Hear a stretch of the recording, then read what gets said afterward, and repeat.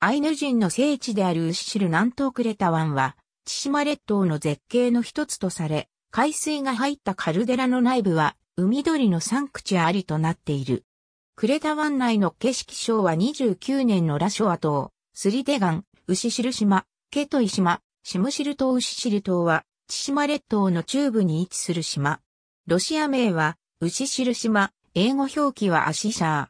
島の名前の由来は、アイヌ語の、ウセイシルから。商法オクニエズには、ウセシリとの記述がある。ウシシル島は、千島アイヌにとっては聖地であり、雷神間中ムイが自身の居住地として作り、天から落とした伝説が残されている。ケトイ島からケトイ海峡を挟んだ北東方約14海里、北緯47度31分統計152度48分に位置する南北2島からなる火山島である。面積は2島合わせてもおよそ5平方キロメートルしかない。この海域はオホーツク海と太平洋の潮がぶつかるため非常に危険であるとされている。南北2島の間は鈴木瀬戸と呼ばれる海峡であるが、その幅は400メートルに満たず、干潮時には歩いて渡ることができる。地図上で南東は中部が大きくえぐられているかのように見える。北島は南東よりも小さく、細長い三角形を成していて海岸は険しく、切り立っており、南端に石山と名付けられた海抜131メートルの頂がある。鈴木瀬戸に面した西側にはわずかながら、歴の浜があって、上陸地とされ、洋小番社があった。なお、島の北東にはスリデ岩が存在する。前述の商法を国絵図には、レフン茶や、チップカ諸島図には、レブンケッチャとある。これは、アイヌ語のレプンケチャから、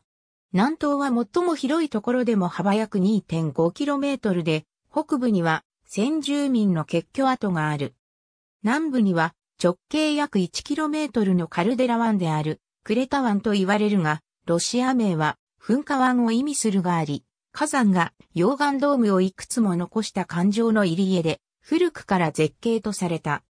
南側は海に落ち込んでおり、湾口は満潮時に20メートルほどになりかろうじて小型船が通過できるが、干潮時は水深30センチメートルほどと非常に浅い。南東隅の山麓には噴気口があり、島に硫黄の匂いが漂う元となっている。また、硫黄分の強い温泉が湧き出し湾内に流れ込んでおり、砂地を掘るだけで温泉として浸かることが可能。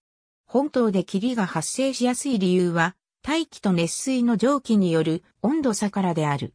クレタ湾は深さが30メートルほどあり、水面には小さい泡が常に吹き出している。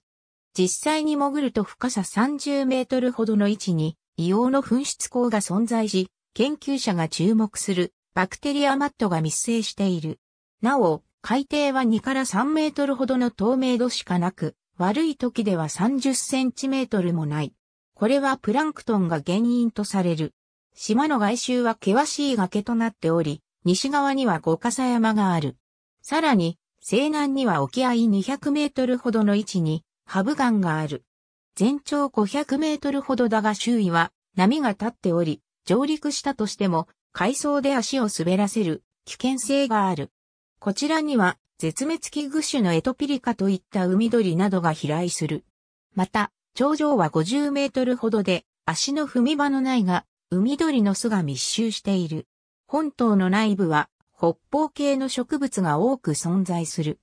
また、日本領時代の1916年には農林省による養護事業でごつがいの青ギツネが導入されたが、ほとんど放し飼い状態であった。現在ではその末裔が自然繁殖している。また、北島にはその小屋が残っている。海沿いの崖や洞窟には、海鳥が繁殖期になると飛来し、コロニーを形成する。なお、前述のクレタ湾は硫黄をもとに生命活動を続けるバクテリアが生息しているため、生命誕生の謎を探る上では最高の場所とされている。当時の行政区分では、北海道根室振興局管内のシムシル軍に属していた。現在はロシア連邦が実行支配しているものの、日本政府は国際法上、貴族未定地であるとしている。ありがとうございます。